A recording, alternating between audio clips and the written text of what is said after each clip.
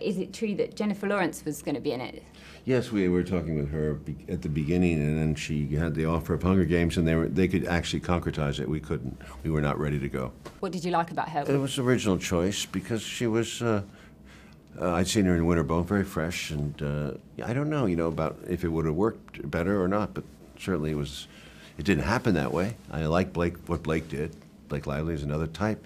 Rewrote sl- slightly for her. Did she bring in T-shirts saying that she survived working with you? Was she uh, easy to work with? She meant that hopefully as a joke because uh, I would consider that I survived her.